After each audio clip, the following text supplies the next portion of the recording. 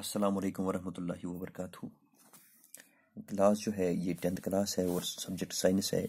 तो आज हम दूसरा चैप्टर पढ़ने जा रहे हैं that is how to organism reproduce और इसमें जो टॉपिक हमने चुना है that is introduction to reproduction तो माय डियर व्यूअर्स आपको मालूम है कि रिप्रोडक्शन एक इंपॉर्टेंट प्रोसेस है लिविंग बींग्स में।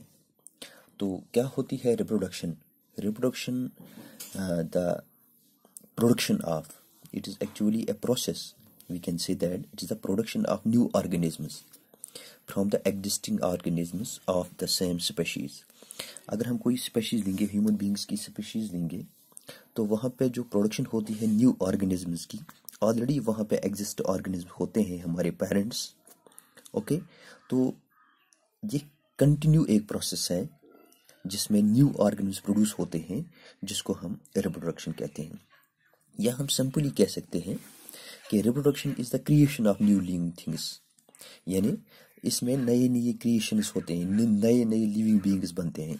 अगर हमारे पेरेंट्स हैं वहाँ से हम आ, हमने जन्म लिया है उनसे इसी तरह से वहाँ से हमारी भाई बहन बाकी चीज़ें जो हैं बाकी रिश्तेदार जो हैं वहाँ अपने अपने पेरेंट्स से उन्होंने जन्म लिया है। यानी वो सेम स्पेशीज़ बनते हैं। वो सेम स्पेशीज़ हैं तो वहाँ पे आप देख सकते हैं कि प्रोडक्शन नए ऑर्गेनिज्मों का होता है। ऑलरेडी एग्जिस्टिंग स्पेशीज ऑलरेडी है तो वहाँ से जो रिप्रोड्यूस होते हैं प्रोडक्ट प्रोड्यूस होते हैं स्पेशीज वो सेम होते हैं। Production reproduction is most important ये बहुत ही इंपॉर्टेंट है for the survival of species या हम ये कह सकते हैं कि process of reproduction ensures continuity of life इससे लाइफ जो है कंटिन्यू होती है। पॉपुलेशन बढ़ जाती है रेज बढ़ जाती है। तो इसी तरह से खानदान तो ज़िंदा रहता है इससे हम ये कह सकते हैं।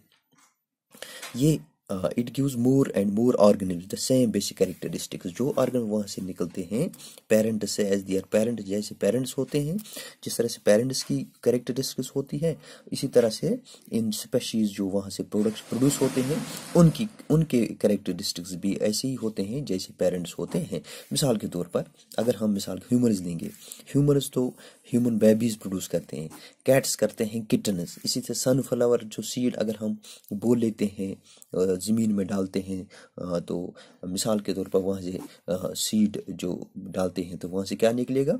वहाँ से भी निकलेगा that is called this sunflower plants तो इस तरह से हमने देखा कि जो रिप्रोडक्शन एक बहुत ही इंपॉर्टेंट प्रोसेस है लिविंग ऑर्गेनिजम्स के तई जो प्रोडक्शन न्यू न्यू ऑर्गेनिजम्स आते हैं क्रिएशन होते हैं न्यू न्यू ऑर्गेनिजम्स तो लेकिन उनकी जो कैरेक्टर्स हैं वो सेम होते हैं जैसे पेरेंट्स होते हैं।